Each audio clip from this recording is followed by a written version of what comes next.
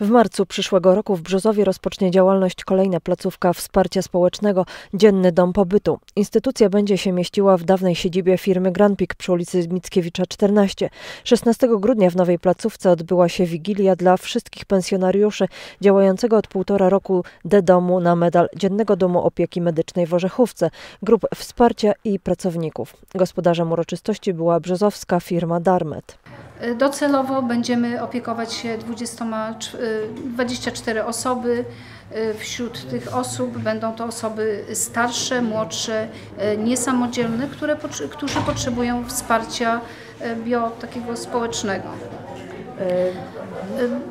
Pacjenci będą przebywać od godziny 10 do godziny 17. Podczas tych spotkań, podczas tego jednego dnia będą mieć posiłki, wspólną, wspólne pogadanki, spotkania integracyjne, rehabilitacje, udzielania wsparcia psychicznego, fizycznego. No dzisiaj wigilia dla pacjentów Dziennego Domu Opieki Medycznej, D-Domu na medal. To pacjenci od sierpnia 2016 roku. Tych pacjentów jest 120 plus ich rodziny, no plus załoga Darmedu. No, święcimy uroczystość Bożego Narodzenia.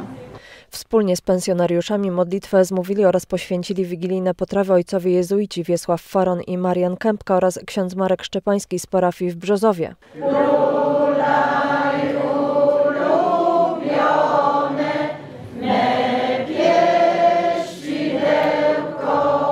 Świąteczną atmosferę wprowadził występ podopiecznych D Domu oraz koncert chóru Vox Cordis z Izdebek.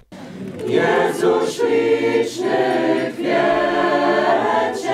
zjawiony na świecie, a czemu się zimie rodzisz, ciężki mróz na się przywodzisz, nie na ciepłem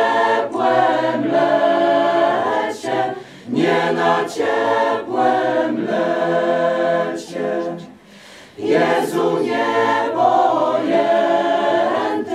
czemu nie spanięty? Nie w pałacu się złożony, w lichej szopie narodzony i między bydlęty, i między